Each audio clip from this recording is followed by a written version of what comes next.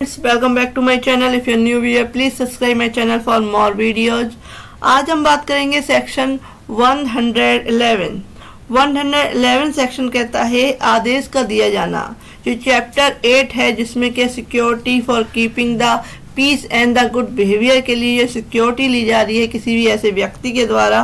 तो उसमें किस तरह से ऑर्डर किया जाएगा कोर्ट के द्वारा? तो उसके बारे में बताया गया सेक्शन 111 में।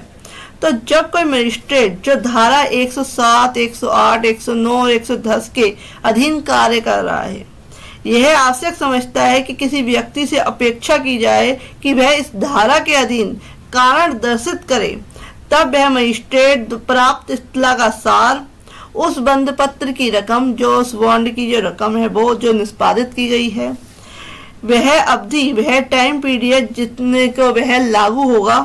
और प्रतिभूतियों की यदि कोई हो अपेक्षित संख्या कि कितने जो है सिक्योरिटी लगी है कितने प्रतिभू लगे हैं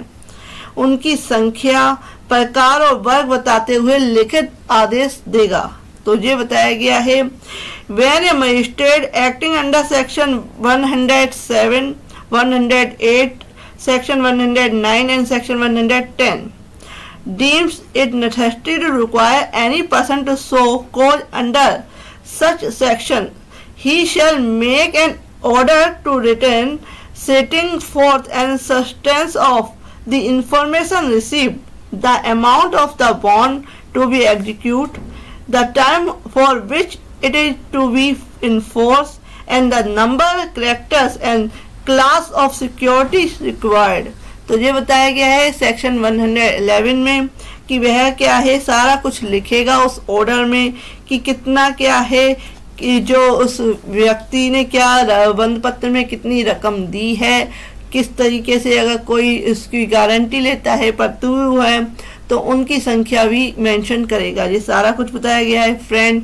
ऐसी वीडियोज़ के लिए अपनी प्रीवियस वीडियो में मैंने आपको section 107 eight nine and ten आपको डिफाइन कर दिया था। If you like my video please like and subscribe my channel thank you for watching this